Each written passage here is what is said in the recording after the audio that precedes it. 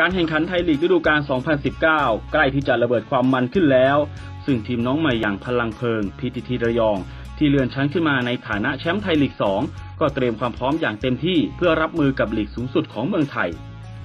ในส่วนของขุมกำลังพวกเขาได้ทำการเปลี่ยนแปลงตัวผู้เล่นมากมาย โดยเสริมทัพนักเตะชั้นนำอย่างวิกเตอร์คาร์โดโซที่ย้ายมาจากทีมสิงห์เชียงราย อาเรียล โรดริเกซที่ย้ายมาจากทีมบีจีปทุมยูไนเต็ดรวมถึงการคว้าตัวผู้เล่นต่างชาติอย่าง วิกเตอร์ อิกโบเนโฟ และเจมส์มานูเอล โทมัส มาร่วมทีม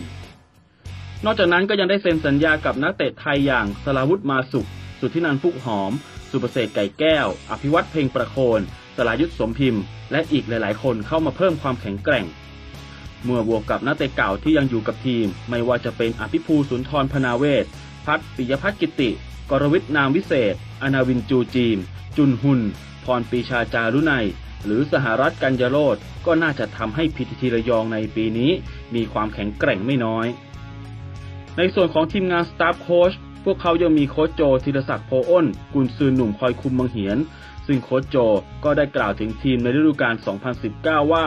PTT ระยอง พร้อมแล้วกับการคัมแบ็กสู่ไทยลีก ในส่วนของการเตรียมทีมกันมาก็ประมาณ 2 เดือนกว่า ผมว่า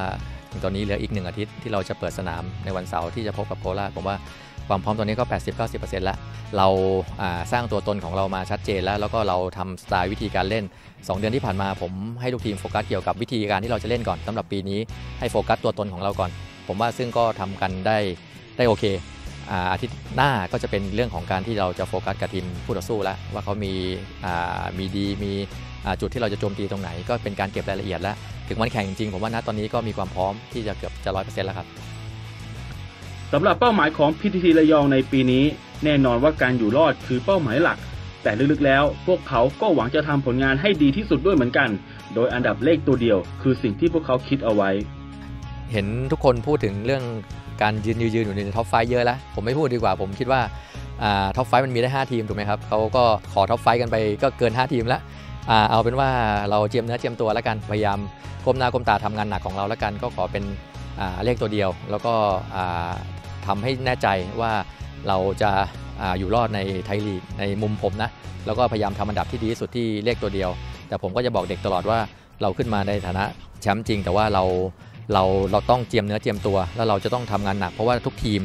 ที่อยู่ในไทยลีกมีแต่ทีมที่มีคุณภาพทั้งนั้น ก็พยายามที่จะทำอันดับให้ดีที่สุดสำหรับปีนี้คงต้องติดตามกันต่อไปว่า PTT ระยองกับการคัมแบ็กขึ้นมาเล่นในไทยลีกในครั้งนี้ จะไปได้สวยแค่ไหน ซึ่งพวกเขาก็มีโปรแกรมนัดเปิดสนาม โดยจะต้องพบกับนครราชสีมามาสด้า FC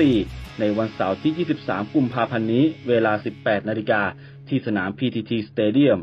ธนทรลือสิริ รายงาน